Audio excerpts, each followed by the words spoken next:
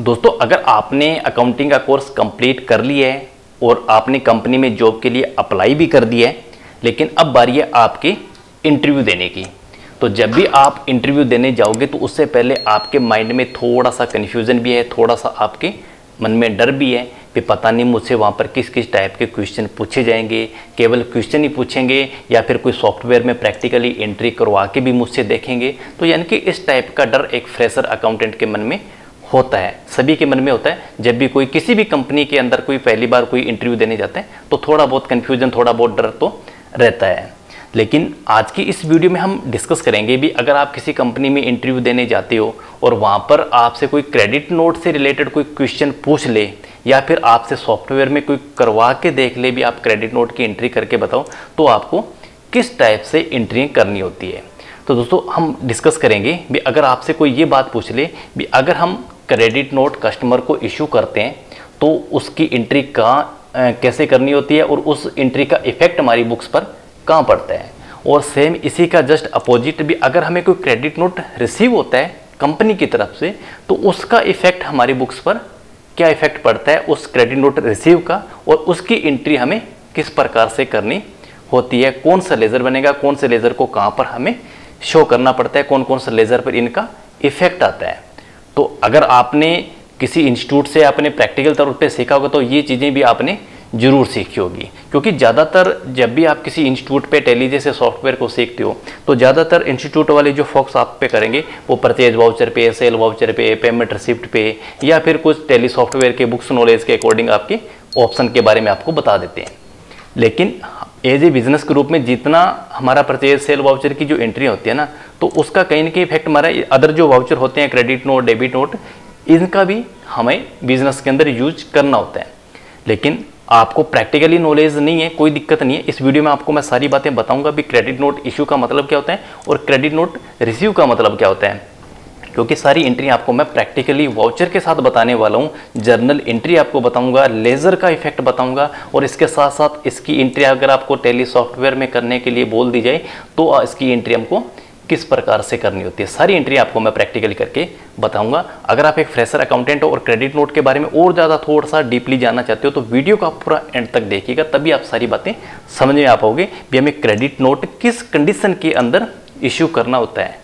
और कितने तरीके से क्रेडिट नोट को इश्यू किया जाता है या कितने तरीके से क्रेडिट नोट हमें रिसीव होता है। सब कुछ आपके सामने लाइव और प्रैक्टिकल रहने वाला है। तो नमस्कार दोस्तों, मेरा नाम है मोहन सुथार और स्वागत है आप सभी का एक बार फिर से आपके अपने इस यूट्यूब चैनल पे। तो दोस्तों, वीडियो की शुरुआत करें, उससे पहले आपसे एक छोटा सा निवेदन है, अगर आप इस चैनल पर पहली बार आए हो तो इस चैनल को आप सब्सक्राइब कर लें, साथ में नोटिफिकेशन बेल को भी आप ज़रूर हिट कर लें, क्योंकि इस चैनल पर आपको इसी टाइप की नॉलेजेबल वीडियो कंटिन्यू मिलती रहेगी। और वीडियो पसंद आए तो ज़रूर लाइक करें, दोस्तों के साथ वीडियो को शेयर भी ज़रूर करें। तो शुरुआत करते हैं वीडियो की। तो दोस्तों, सबसे पहला हम पॉइंट बात करेंगे क्रेडिट नोट इशू की। यानी कि अगर हमारी कंपनी के द्वारा कस्टमर को क्रेडिट नोट इशू किस कंडीशन में किया जाता है? तो तीन रीज़न बेसिक होते हैं क्रेडिट नोट इशू करने के। पहला हो गया आपका अगेंस्ट सेल रिटर्न के। दूसरा हो गया अगेंस्ट डिस्काउंट के कमीशन के बोनस के। और तीसरा हो गया रीज़न आपका अगेंस्ट प्राइस डिफरेंस का। तो तीनों का मतलब हम प्रैक्टिकली तरीके से जानते हैं और उसके बाद हम बात डिस्कस करेंगे क्रेडिट नोट रिसीव की। तो दोस्तों, सबसे पहले हम इस वीडियो को और ज़्यादा प्रैक्टिकल तरीके से बनाने के लिए हमने कुछ टैक्स इन्वॉइस और क्रेडिट नोट यहाँ पर बनाए हुए हैं। अब हमारी कंपनी है स्मार्ट कंप्यूटर्स रायशनगर की और हमारा एक कस्टमर है एबीसी कंपनी के नाम से और हमने एबीसी कंपनी को एक टैक्स इन्वॉइस हमने इशू किया है यहाँ पर और यहाँ पर कुछ हमारे पास प्रोडक्ट है जो हमने इस ए कंपनी को सेल किया जैसे कि आइटम ए बी सी आपके पास आइटम कुछ भी हो सकती है। ये इनकी क्वांटिटी है और ये इनके हमने पर क्वांटिटी के, यानी कि पर फ़ीस के पर यूनिट के हमने इनसे पैसे चार्ज किए और इस तरीके से ये कुछ हमारे टैक्स रेट और इस तरीके से ये टैक्सेबल इनवॉइस बन गया छः हज़ार आठ सौ रुपये का। तो ये तो था एक सिंपल बात। है भी हमने कस्टमर को सेल इनवॉइस इशू कर दिया। तो अब बात आती है क्रेडिट नोट इशू करने की। तो अब सबसे पहले मान लीजिए हमने कस्टमर को ये प्रोडक्ट हमने सेल किए और कस्टमर ने क्या हुआ? भी ये हमने 30 सितंबर 2022 को ये सेल इनवॉइस बनवाया। और उसके बाद कस्टमर ने हमें क्या किया? भी दो तारीख को उस प्रोडक्ट में से एक प्रोडक्ट में से कुछ क्वांटिटी वापस कर दी। अब वो सेम सारा प्रोडक्ट भी वापस हो सकता है और उस प्रोडक्ट में से कुछ पार्ट आपके पास आ सकता है, कोई दिक्कत नहीं है। तो सबसे पहली बात हम करते हैं क्रेडिट नोट का, जो हमारा बनता है सेल रिटर्न के अगेंस्ट के अंदर। तो अब आपको ये वाउचर देखने के अंदर बिल्कुल ऐसा ही लगेगा जैसा कि हमने ये टैक्स इन्वॉइस बनाया था। डिफरेंस क्या रहेगा? सबसे पहले जहाँ पर आपको ये टैक्स इन्वॉइस जो दिखाई दे रहा है तो ये टैक्स इन्वॉइस रहता है केवल सेल इन्वॉइस के ऊपर। अगर आपने कस्टमर को क्रेडिट नोट इशू किया है सेल रिटर्न के अगेंस्ट में तो यहाँ पर, जहाँ पर टैक्स इन्वॉइस लिखा था, वहाँ पर ये क्रेडिट नोट लिखा होगा। ये हो सकता है ये सेल रिटर्न वहाँ पर नया लिखा हो। ये मैंने आपको केवल समझाने के लिए यहाँ पर इसके आगे सेल रिटर्न लिखा हुआ है अदरवाइज़ ज़्यादातर ये क्रेडिट नोट ही लिखा होता है। और बाकी एज इट इज़ आपको टैक्स इन्वॉइस की तरह ही दिखेगा। और दूसरा आपको यहाँ पर दिखेगा क्रेडिट नोट का नंबर और वहाँ पर आपको दिखेगा इन्वॉइस का नंबर क्योंकि वो इन्वॉइस है और ये क्रेडिट नोट है तो ये क्रेडिट नोट का नंबर आएगा। और दूसरा, अब यहाँ पर कुछ डिटेल और भी लिखी होती है भी आपका ओरिजिनल इन्वॉइस नंबर क्या था, और उसके बाद में ओरिजिनल इन्वॉइस की डेट क्या थी? यानी कि ये सामान वापस आया तो जायसी बात है सामान को आपने पहले सेल किया था। तो सेल किया था उस कंस्ट के अंदर, उसका इन्वॉइस नंबर क्या था और उस इन्वॉइस की डेट क्या थी। तो डेट भी आपको यहाँ पर इस क्रेडिट नोट के ऊपर ज़रूर मिल जाएगी। और उसके बाद में ये जो डेट, जिस तारीख को हमने इशू करना होता है, और उसके बाद में कस्टमर का नाम, और उसके बाद में यहाँ पर आ जाएगी आइटम बी और आइटम बी के अंदर क्या हुआ कि कस्टमर ने हमें दो क्वांटिटी वापस कर दी और जिस रेट से हमने इसको सेल किया था, उसी सेल के अगेंस्ट के अंदर, उसी प्राइस के अंदर कस्टमर से वापस है जो पैसा ले लेंगे। तो 110 और दो क्वांटिटी है तो टोटल मल्टीप्लाई करेंगे तो दो सौ की वैल्यू बनेगी, जिसके अंदर टैक्सेबल वैल्यू है एक सौ छियानवे रुपये तिरालीस पैसे की, और इसके अंदर C G S S G S T tax total हमारा जी एस टी टैक्स तेईस रुपये और सत्तावन पैसे का। टोटल समरी आपको यहाँ पर मिल जाती है। टैक्सेबल वैल्यू एक सौ छियानवे रुपये तिरालीस पैसे की ग्यारह रुपये सेवन नाइन पैसे C G S T tax और ग्यारह रुपये सेवन नाइन पैसा S G S T tax के रूप में।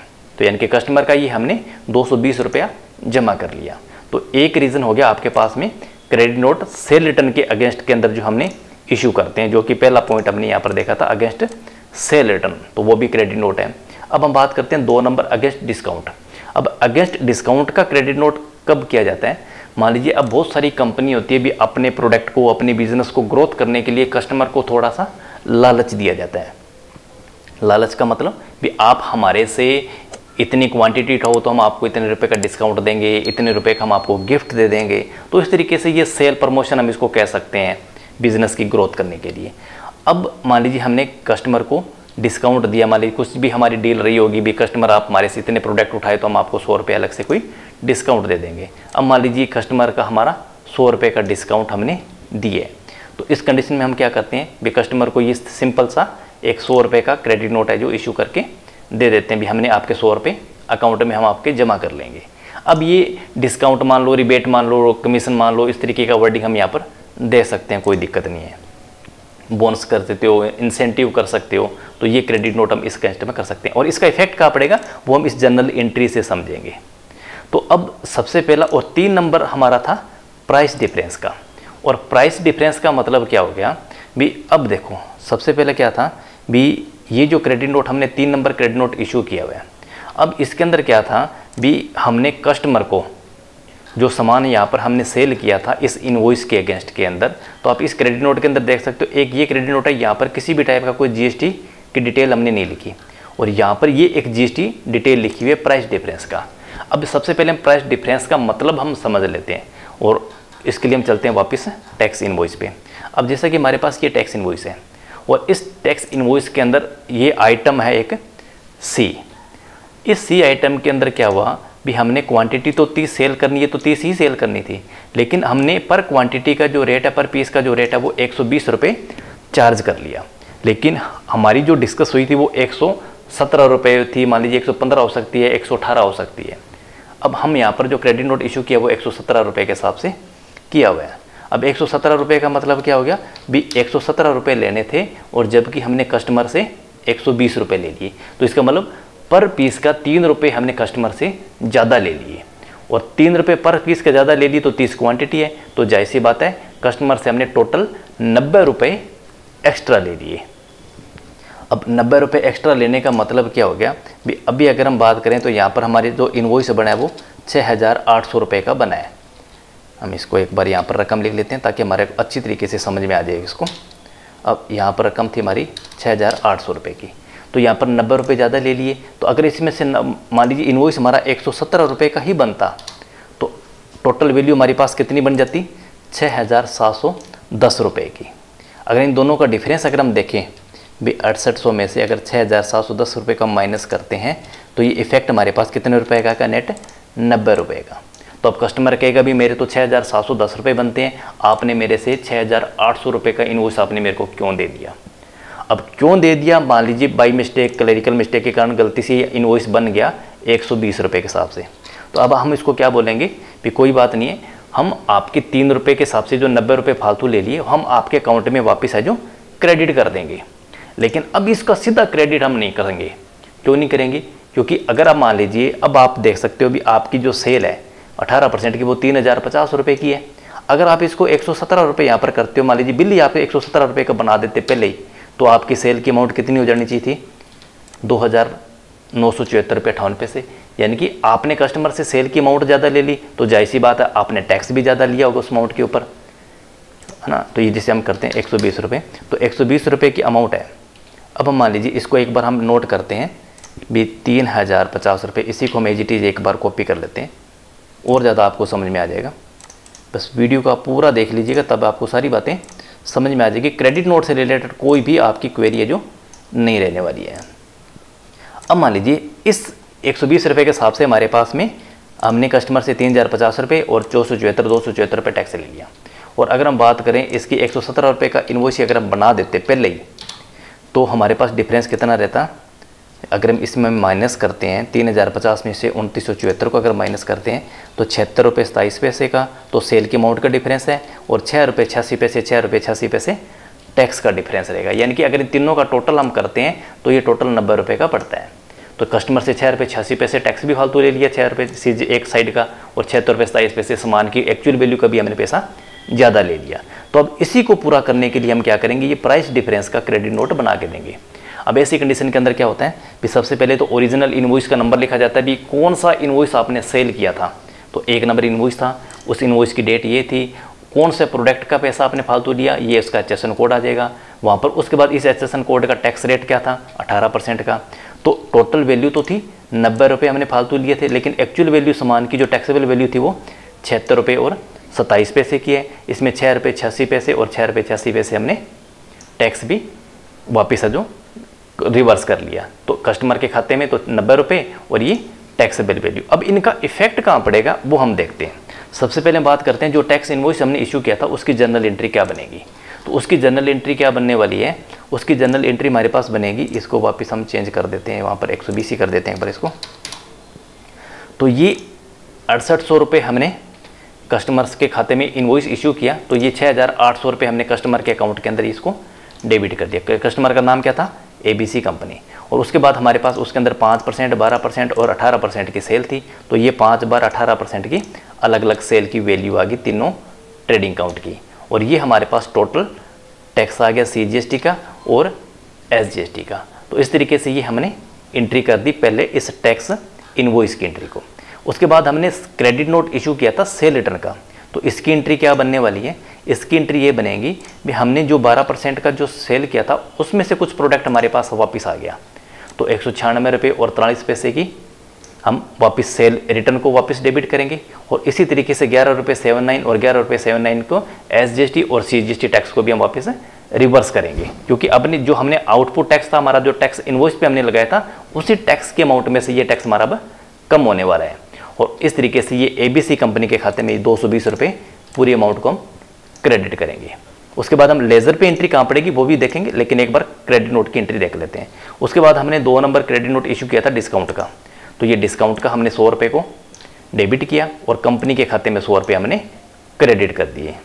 और उसके बाद में ये जो प्राइस डिफरेंस का था प्राइस डिफरेंस के अंदर क्या था? भी जो हमने 18 परसेंट की जो सेल करी थी, उस सेल के अकाउंट के अंदर वापस हम थोड़ा सा उसको रिवर्स करेंगे। यानी कि जो हमारी सेल थी, वो सेल हमारी अब कम हो जाएगी।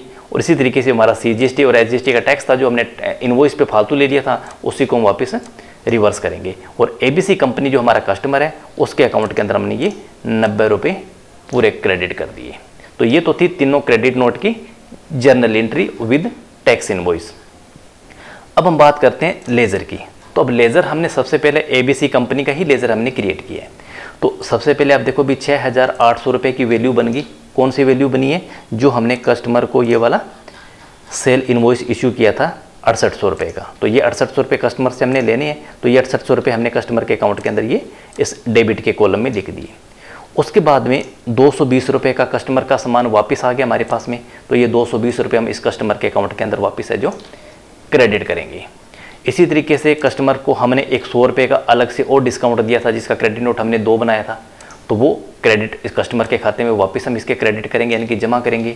इसी तरीके से जो तीन नंबर हमने एक प्राइस डिफरेंस का क्रेडिट नोट बनाया था, जिसके अंदर हमने इस इन्वॉइस के अगेंस्ट में नब्बे रुपये फालतू ले लिए थे तो वो अब नब्बे रुपये हम यहाँ पर इसके वापस है जो जमा कर देंगे। तो ये तो था इस कस्टमर का हिसाब। अब इसके क्लोजिंग बैलेंस की बात करें तो यहाँ तक हम इससे अड़सठ सौ रुपये इसका डेबिट बैलेंस उसके बाद में दो सौ बीस रुपये का इसका सामान वापस आ गया तो कस्टमर का बैलेंस पैंसठ सौ अस्सी रुपये रह गया। इसी तरीके से सौ रुपये इसके डिस्काउंट हमने और दे दिया इसको तो बैलेंस चौंसठ सौ अस्सी हो गया। उसके बाद में नब्बे रुपये जो फालतू ले लिए थे कस्टमर इन्वॉइस से हमने, वो हमारा वापस इसके जमा कर दिए तो तिरसठ सौ नब्बे रुपये इसका बैलेंस रह गया। इसी तरीके से इसका बैलेंस है जो जैसे जैसे क्रेडिट होता रहेगा बैलेंस इसका कम होता रहेगा। जैसे अमाउंट को डेबिट होगी, वापस बैलेंस है जो इंक्रीज हो जाएगा। और उसके बाद में हमने एक पाँच परसेंट का लेज़र क्रिएट किया था तो पाँच परसेंट हमारे पास नौ सौ बावन रुपये अड़तीस पैसे की सेल थी। और उसके बाद में हमने ये बारह परसेंट की भी सेल करी थी। तो सेल की एक्चुअल वैल्यू तो थी हमारे पास उन्नीस सौ चौंसठ रुपये और उनतीस पैसे की। ये कहाँ से आई थी हमारे पास? जब हमने कस्टमर को सेल किया था। तो सेल किया था तो हमारे पास 12 परसेंट की सामान की वैल्यू आप देख सकते हो, यही थी उनतीस रुपये और उनतीस पैसे की। तो ये हमने उनतीस सौ चौंसठ रुपये की वापस कर दी। क्रेडिट कर दिया और उसके बाद में कस्टमर हमारे को सामान बारह परसेंट वाला वापस दे गया। तो जिसकी वैल्यू थी एक सौ छियानवे रुपये तिरालीस पैसे, जो कि हमारा सेल रिटर्न बना था। और ये बारह परसेंट का प्रोडक्ट था और इस बारह परसेंट परसेंट के अंदर एक सौ छियानवे रुपये और तिरालीस पैसे सामान की टैक्सेबल वैल्यू बनी थी। तो हम अब हम क्या करेंगे? इस लेज़र के अंदर हम वापस 12 परसेंट सेल लेजर को ही डेबिट करेंगे। अब यहाँ पर आपके पास दो बातें डिपेंड करती है कि अब या तो आप जीएसटी 12 परसेंट सेल अकाउंट को ही डेबिट करो, या आप एक जीएसटी 12 परसेंट सेल रिटर्न के नाम से हम अलग से लेजर क्रिएट करें तो उसके अकाउंट के अंदर हम इसको डेबिट कर सकते हैं। तो ये आप अपनी अकाउंटिंग की और प्रैक्टिस पर डिपेंड करता है। कुछ अकाउंटेंट लोग अलग से लेजर क्रिएट करते हैं और कुछ अकाउंटेंट इसको सेम लेजर को ही वापस डेबिट कर देते हैं रिवर्स कर देते हैं। अब हमारी 12 परसेंट की सेल की वैल्यू अगर हम देखा जाए तो उन्नीस रुपए का हमने सामान सेल किया था, जिसमें हमारे पास एक रुपए का सामान वापस आ गया। तो जिसकी वजह से हमारे पास अब सामान की जो 12 परसेंट की सेल है, वो सत्रह रुपए और छियासी पैसे ही रह गई है। उसके बाद में हमारे पास जीएसटी 18 परसेंट का। अब 18 परसेंट का हमने टैक्स इन्वॉइस के आधार पर हमारी जो सेल थी, वो तीन हज़ार पचास रुपये की थी। लेकिन ये हमने कस्टमर से पहले ज़्यादा ले लिया था तो हमने कस्टमर को ये डिफरेंस है जो वापस क्रेडिट नोट इशू कर दिया तो उसकी वजह से क्या हुआ? ये छिहत्तर रुपये सत्ताईस पैसे का जो हमने जो प्राइस डिफरेंस का क्रेडिट नोट इशू किया था कस्टमर को, उसकी जो टैक्सेबल वैल्यू हमने 18 परसेंट सेल के अकाउंट के अंदर ही डेबिट कर दी। क्यों कर दी? क्योंकि एक्चुअल में हमारी सेल उनतीस रुपये और अट्ठावन पैसे की ही होनी थी, लेकिन गलती से हमने तीन ले लिए। अब कैसे ले लिए? अगर इसका आप डायरेक्ट इफ़ेक्ट देखना चाहते हो, देख से आप देखो भी तीन हज़ार पचास और तीन हज़ार पचास में से ये सामान, एक तरीके से हम कह सकते हैं, ये हमारी जो सेल है, ये हम ये नहीं कह सकते भी छिहत्तर रुपये सताईस पैसे का सामान वापस आ गया। सामान नहीं आया, ये प्राइस डिफरेंस है। रेट फालतू ले लिया था रेट को वापस हमने सेल के अंदर ही वापस इसको डेबिट कर दिया। तो ये उनतीस सौ छिहत्तर रुपये और अठावन पैसे की है। अगर हम इसको इन्वॉइस पे अगर हम जाके देखें तो कस्टमर को अब मान लीजिए एक सौ सत्रह रुपये पहले ही हम कर देते तो आप देख सकते हो अभी उनतीस सौ चौहत्तर रुपये और अट्ठावन पैसे की जो सेल है, वही आपकी रह जानी थी। अब इस पे लेज़र पे जाकर देखें तो लेज़र की आप देखोगे 18 परसेंट की तो ये आपकी जो सेल है, वो उन्नीस सौ सत्रह, उन्नीस सौ क्योंकि अब यहाँ पे लेज़र इसको साथ कनेक्ट किया हुआ है तो उन्नीस सौ उनतीस सौ चौहत्तर की जो सेल है, आपकी 18 परसेंट की जो सेल है, उनतीस सौ चौहत्तर की। अभी आ सकती है उनतीस सौ चौहत्तर की सेल आपकी है। अगर हम यहाँ पर तीन हज़ार पचास रुपये की अगर रकम वापस कर देते हैं तो आपका आगे जाके जो इफ़ेक्ट है, वो कम हो जाएगा। क्योंकि उसके कंडीशन के अंदर आपको वापस से प्राइस डिफरेंस का क्रेडिट नोट इशू करने की ज़रूरत नहीं है। अब तीन हज़ार पचास रुपये की सेल और छिहत्तर रुपये सताईस पैसे का वापस रिवर्स कर दिया तो एक्चुअल में सेल आपकी उनतीस सौ चौहत्तर रुपये और अट्ठावन पैसे की रह जाएगी। और इसी तरीके से अगर हम टैक्स की बात करें सीजीएसटी और एसजीएसटी टैक्स की तो हमने जो कस्टमर से सेल इन्वॉइस इशू किया था तो उस दौरान हमने कस्टमर से टैक्स चार्ज किया था चार सौ सोलह रुपये और चौबीस पैसे का। अब इसके अंदर कस्टमर ने हमारे पास सामान वापस कर दिया तो उसका टैक्स हमने रिवर्स कर लिया, ग्यारह रुपये सेवन नाइन पैसे। और इसी तरीके से जो हमने कस्टमर से नब्बे रुपये फालतू लिए थे, उसके अंदर छः रुपये छियासी पैसे टैक्स भी फालतू ले लिया था। तो टैक्स भी हमने उसको नब्बे रुपये दे दिए तो टैक्स को भी हम वापस रिवर्स करेंगे। तो इस तरीके से ये टैक्स की अमाउंट भी हमारे पास है जो रिवर्स हो जाएगी। अब हमारा जो टोटल नेट आउटपुट रहने वाला है, वो ये रह जाएगा, तीन सौ सतानवे रुपये और उनसठ पैसे। यानी कि अब हमारी जो पेबल की जो लाइबिलिटी बन रही है, वो तीन सौ सतानवे रुपये और उनसठ पैसे की बनती है। और इसी तरीके से जो हमने डिस्काउंट दिया था, वो डिस्काउंट अब हमारा सौ रुपये का हमने डेबिट कर दिया। तो ये तो थी हमारी जनरल एंट्री और लेजर की बात। अब बात आती है भी इसका इफ़ेक्ट कहाँ पड़ा? तो इफ़ेक्ट देखो अब क्या हो गया? भी अब सेल रिटर्न के अगेंस्ट में क्या हुआ? भी हमारे पास जो सेल थी सेल रिटर्न के अगेंस्ट में हमारे पास जो सेल है, वो कम होगी अब कम होने का कारण, जैसा कि अभी हमने देखा यहाँ पर, आपको दिखाता हूँ मैं बारह परसेंट वापस चलते हैं अपने। तो अब जैसे एक्चुअल में हमारी सेल थी उन्नीस सौ चौंसठ की कस्टमर हमें ये सामान वापस कर दिया तो एक्चुअल में हमारी सेल रहेगी सत्रह सौ सड़सठ रुपये और छियासी पैसे की। तो ये एक तो कारण हुआ कि हमारी सेल रिटर्न के क्रेडिट नोट से हमारी सेल है जो कम होती है। दूसरा अगेंस्ट डिस्काउंट जो कि हमने दो नंबर क्रेडिट नोट इशू किया था, ये वाला, इसके अगेंस्ट के अंदर क्या हुआ? हमारी कंपनी का सेल प्रमोशन हम कर रहे हैं बिज़नेस को ग्रोथ कर रहे हैं तो कुछ खर्चा हमने किया है। तो इस कंडीशन के अंदर क्या होता है? हमारे बिज़नेस का कुछ खर्चा बढ़ता है और नेट प्रॉफिट हमारा कम होता है। और तीसरा रीज़न अगेंस्ट प्राइस डिफरेंस के अंदर क्या होता है? कि इस प्राइस डिफरेंस के अंदर भी हमारी जो सेल की वैल्यू है, वो कम होती है और उसके साथ साथ जो हमारी सीजीएसटी और एसजीएसटी या फिर आईजीएसटी टैक्स की जो लाइबिलिटी है, वो भी हमारी कम होती है। अब कम होने का मतलब अभी आप देख सकते हो, जैसे लेजर में हमने देखा सीजीएसटी टैक्स का तो ये एक्चुअल में हमारी सेल इनवॉइस के आधार पर ये लाइबिलिटी ये बनती थी। लेकिन ये हमारी सेल रिटर्न के अगेंस्ट के अंदर हमारी टैक्स की लाइबिलिटी और थोड़ी सी रिवर्स कर दी तो ये चार सौ चार रुपये रह गया और छः सौ छियासी रुपये का प्राइस डिफरेंस का दिया तो उसकी वजह से और ज़्यादा कम हो गया जो तीन सौ सतानवे रुपये रह गया। तो यानी कि हमारी जो duties and taxes C G S T S G S T की टैक्स की जो लाइबिलिटी है, वो कम होती है। अब हम बात करते हैं क्रेडिट नोट रिसीव की तो ये जस्ट इसका अपोजिट हो जाएगा। अपोजिट होने का मतलब आपको क्रेडिट नोट रिसीव किस कंडीशन में होता है? अगेंस्ट परचेज रिटर्न के यानी कि मान लीजिए आपने किसी कंपनी से कोई गुड्स परचेज किया और उस प्रोडक्ट को आपने कंपनी को आपने कंपनी को वापस रिटर्न कर दिया तो आपकी तरफ़ से तो परचेज रिटर्न होगी लेकिन कंपनी की तरफ़ से वो सेल रिटर्न होगी। तो अब कंपनी की तरफ़ से आपको क्रेडिट नोट है जो मिलने वाला है वो रिसीव आपको हो रहा है तो, तो इस कंडीशन के अंदर क्या होती है भी जो आपकी परचेज वैल्यू है वो परचेज की वैल्यू आपकी कम होती है। कम होने का मतलब मान लीजिए आपने कोई पाँच सौ रुपये का कोई गुड्स परचेज किया, उसके अंदर आपने सौ रुपये का रिटर्न कर दिया तो अब आपकी एक्चुअल परचेज कितनी रह जाएगी? चार सौ रुपये की। पाँच सौ का खरीदा, सौ का वापस कर दिया तो चार सौ रुपये की आपकी नेट इफ़ेक्ट रह जाएगा परचेज का। तो ऐसी कंडीशन के अंदर आपकी परचेज की अमाउंट है जो कम होती है। अगर हम बात करें अगेंस्ट डिस्काउंट यानी कि अगर मान लीजिए कंपनी भी अपने बिज़नेस को ग्रोथ करने के लिए आपको कुछ थोड़ा लालच देती है, कोई गिफ्ट देती है, कोई आपको डिस्काउंट देती है तो इस कंडीशन के अंदर क्या होता है? आपकी कंपनी की इनकम बढ़ती है।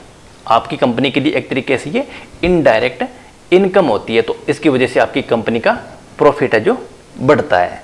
सेल रिटर्न की अगर हमारी तरफ़ से अगर इशू किया जाता है तो इस कंडीशन के अंदर क्या होता है? हमें एक्सपेंसेस खर्चा होता है हमारी कंपनी का और नेट प्रॉफिट हमारा कम होता है। और इस कंडीशन के अंदर हमारे पास अगर रिसीव हुआ है, आपको क्रेडिट नोट तो इस अगेंस्ट के अंदर आपकी कंपनी का जो इनकम है वो बढ़ती है। अब तीसरा था अगेंस्ट प्राइस डिफरेंस का। अब प्राइस डिफरेंस की कंडीशन के अंदर भी क्या होगा? भी आपकी कंपनी की जो परचेज है, वो कम होगी और साथ के साथ आपकी जो टैक्स की जो लाइबिलिटी है, वो आपकी बढ़ेगी। क्योंकि अब मान लीजिए कंपनी को आपने सामान रिटर्न किया या आपके प्राइस डिफरेंस मान लीजिए कोई रेट डिफरेंस था, सौ रुपये का था कंपनी ने एक सौ मान लीजिए बीस रुपये लगा दिया तो वापस जो बीस रुपये का डिफरेंस है तो कंपनी आपसे जो बीस रुपये का एक्स्ट्रा चार्ज कर लिया, जैसा कि हमने हमारे कस्टमर से जो एक्स्ट्रा पैसा चार्ज किया था मान लीजिए इस इनवॉइस के आधार के ऊपर तो वो पैसा हमने इस क्रेडिट नोट के थ्रू वापस ले लिया। अब ये हमारी लाइबिलिटी और ज़्यादा कम होगी तो परचेज अगर आपको रिसीव होता है तो इस अगेंस्ट के अंदर आपकी लाइबिलिटी है जो बढ़ेगी। इसका जस्ट यानी कि जो हमारा क्रेडिट नोट इश्यू होता है और जो रिसीव होता है, वो इसका जस्ट है जो अपोजिट हो जाएगा। तो दोस्तों आई होप कि इस वीडियो से आपको कुछ ज़रूर सीखने को मिला है। अब हम बात करते हैं भी इसकी एंट्री हम टेली सॉफ्टवेयर में किस प्रकार से करते हैं। तो दोस्तों, सब मेरे एंट्री करने के लिए सबसे पहले एक बी सी लेज़र का हम एक बार लेज़र खोल सकते हैं। तीनों एंट्री मैंने ऑलरेडी करके रखी हुई, इसलिए हमारा टाइम वेस्ट ना हो। तो अब टाइम वेस्ट ना हो, इसके लिए हम क्या करेंगे? सबसे पहले जैसे कि हमने ये छः हज़ार आठ सौ रुपये का जो सेल इन्वॉइस है, वो इन्वॉइस हमने बना दिया, जो यहाँ पर हमने एंट्री करके रखी हुई थी, छः हज़ार आठ सौ रुपये की। तो ये सेल इन्वॉइस बन गया। तो इससे क्या हुआ? भी कस्टमर का खाता छः हज़ार आठ सौ से डेबिट हो गया। उसके बाद में दो सौ का कस्टमर ने हमारे को सेल रिटर्न कर दिया। तो हमने कस्टमर को क्या हुआ? ये क्रेडिट नोट इशू कर दिया। अब क्रेडिट नोट किस तरीके से इशू किया हुआ? पार्टी का नाम, उसके बाद आइटम बी, दो। अब मैंने यहाँ पर क्या किया है? जीएसटी 12 परसेंट का सेल है। उसका 12 परसेंट रिटर्न का एक अलग से लेज़र मैंने क्रिएट किया है। तो मैं चाहता तो इस सेल 12 परसेंट के अंदर भी डाल सकता था, लेकिन मैंने यहाँ पे अलग रिटर्न का लेज़र क्रिएट किया इसका इफ़ेक्ट क्या पड़ेगा वो भी हम देखते हैं। और इस वाउचर को मैंने एक्सेप्ट कर दिया। उसके बाद में सौ रुपये का डिस्काउंट का हमने क्रेडिट नोट इशू किया था। तो वो एंट्री आप चाहो तो क्रेडिट नोट के अंदर भी आप कर सकते हो अदरवाइज़ आप जनरल एंट्री भी पास कर सकते हो, कोई दिक्कत नहीं है। तो मैंने डिस्काउंट पेड के नाम से एक लेज़र क्रिएट किया। अंडर ग्रुप इसका रखा मैंने इनडायरेक्ट एक्सपेंसेस और एबीसी कंपनी को क्रेडिट कर दिया जो हमारा कस्टमर था। और इसी तरीके से ये प्राइस डिफरेंस का था, इसको आपको थोड़ा सा ध्यान से समझना है। आपको एक तो सबसे पहले जो वाउचर का, जो मोड है क्रेडिट नोट का, वो आपको एज ए वाउचर रखना होगा। आपने एज ए वाउचर यहाँ पर इसको रखा। एबीसी कंपनी को हमने क्रेडिट किया, नब्बे रुपये जो टोटल अमाउंट थी। उसके बाद में जो हमारी सेल थी जीएसटी सेल 18 परसेंट, उसी अकाउंट को मैंने यहाँ पर वापस डेबिट किया, छिहत्तर रुपये और अट्ठाईस पैसे से। और उसके बाद में सीजीएसटी टैक्स और एसजीएसटी टैक्स अकाउंट को वापस डेबिट कर दिया छः रुपये छियासी पैसे से और छः रुपये छियासी पैसे से। इस तरीके से ये तीनों एंट्री आपकी पास हो जाएगी। तीन तो आपकी रहेगी क्रेडिट की और एक रहेगी सेल की। अगर हम टेली के हिसाब से देखा जाए तो आपका कस्टमर का जो बैलेंस है वो छः हज़ार तीन सौ नब्बे रुपये का रहता है। और यही बात अगर हम देखें सॉफ्ट एक्सेल के अंदर लेज़र के अंदर देखते हैं तो छः हज़ार तीन सौ नब्बे रुपये का बैलेंस डेबिट रहता है। अब हम बात करते हैं इसके सेल के इफ़ेक्ट की तो इसके लिए हम चलते हैं प्रॉफिट